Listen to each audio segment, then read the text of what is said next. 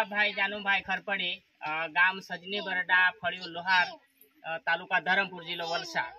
હવે તમે તમારા ખેતરમાં ગયા ચોમાસામાં પાન કંપનીનું ચોવીસ ત્રીસ ડાંગર વાવ્યું હતું.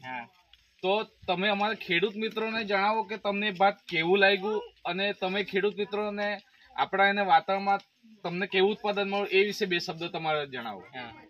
તો મેં ગયા વર્ષ પાનસીડ કંપની ચોવીસ ત્રીસ ભાત રોપેલું. તો એમાં મેં ખાતરનો બી ઉપયોગ નહીં કરેલો. મેં સાણિયા ખાતર ઉપયોગ કરીને તો પણ આ જરાક જૂળ બી એનો બહુ મોટા થયા અને એની કંટી બી સારી આવેલી અને આ ખરી બી નહીં જાય. એટલે મને આ આ ભાતમાંથી સારો મને ઉત્પાદન મળ્યું છે.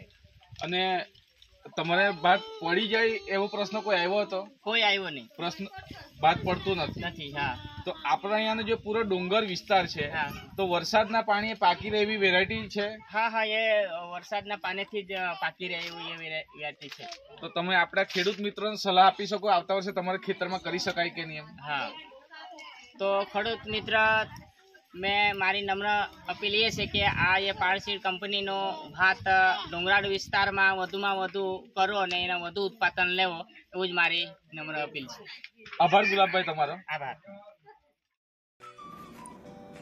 अगर आप हमारे चैनल पर नए हैं तो हमारे चैनल को सब्सक्राइब करें और साथ वाले बेल के आइकन पर क्लिक करके नई आने वाली वीडियो की नोटिफिकेशन हर वक्त हासिल करें